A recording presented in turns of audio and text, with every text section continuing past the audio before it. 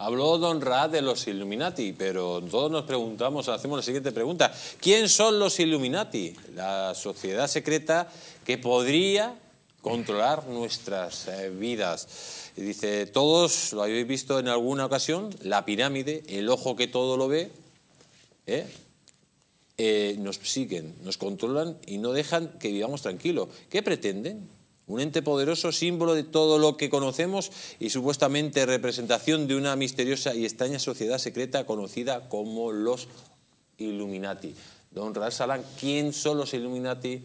¿Cómo los Illuminati, lógicamente, tienen relación con la masonería y sobre todo con los masones. La logia, más poderosa del de Como con los masones, sobre todo con los masones de la Revolución Francesa, pero también cómo esos Illuminati se han introducido, digamos, en el, nuevo orden y en Estados Unidos y con la francmasonería. Eh, los Illuminati nació eh, en el año 1776. El fundador fue eh, Adam Weishaupt, de origen judío, de una familia muy rica. Estudió en colegios jesuitas y llegó a ser un sacerdote jesuita. Pero luego hasta llegó a ser un profesor del derecho canónico dentro de la universidad en Baviera, en Alemania. Y Watchop, eh, lo, que, lo que él decía, que eh, eh, quería quitar el poder religioso dentro de la política. Y decía que hay que acabar con el poder religioso dentro del poder político. No hay que tener una influencia poderosa dentro del poder, donde, dentro del poder eh, político. Por eso Watchop dejó eh, de ser sacerdote y empezó a, predicar el Illuminati dentro de las logias masónicas. Eh, él se hizo masón y luego se hizo esta logia en su nombre y le llamó Illuminati. ¿Por qué Illuminati? Porque él dice que mm, la aspiración no solamente viene por la fe, sino también pierde por otros medios. El Lucifer también te puede iluminar para eh, llegar hasta el poder.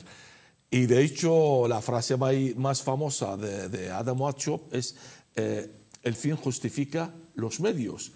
Y la muerte eh, es, soluciona el problema de la humanidad.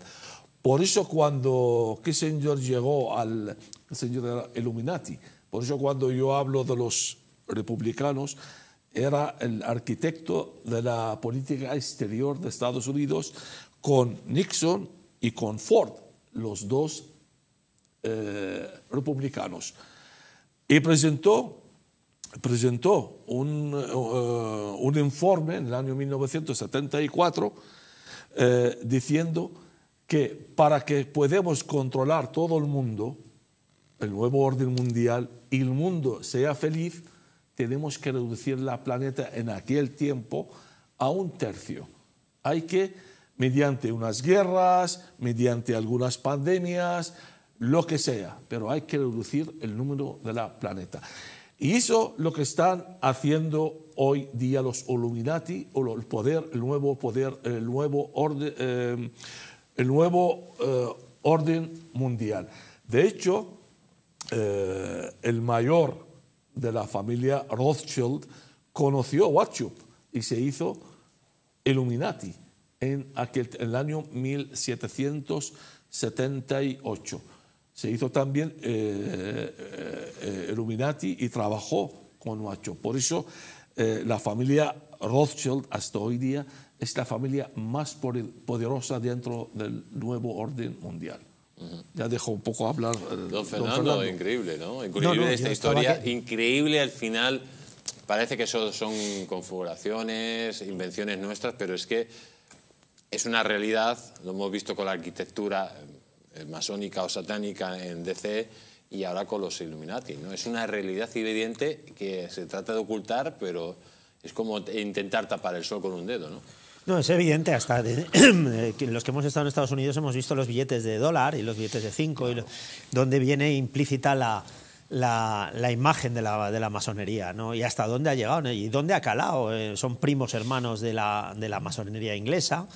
En fin, de, eh, y, y yo lo que me quedo, me quedo sorprendido es el poder tan tremendo que accede esta gente precisamente a través de los órganos del poder. ¿no?